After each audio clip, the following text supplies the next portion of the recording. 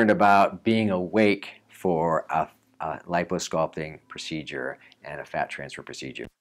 Um, and so there is some misconceptions about it because uh, our experience with fat transfer is that it's a much, much safer procedure while you're awake because um, we don't have to put you to sleep. So we're able to watch what you're doing. You're able to watch your own body while things are happening.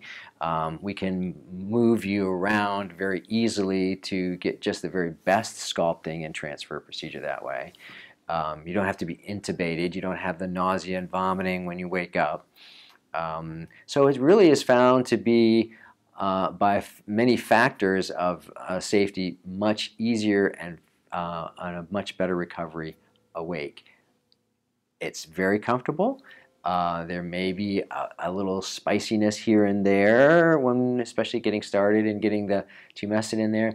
But with the Pronox device, which is nitrous oxide, in many ways it's really sort of a euphoria while that's happening too. So um, we keep it fun and light here and uh, this also keeps it safer and better and with a easier recovery.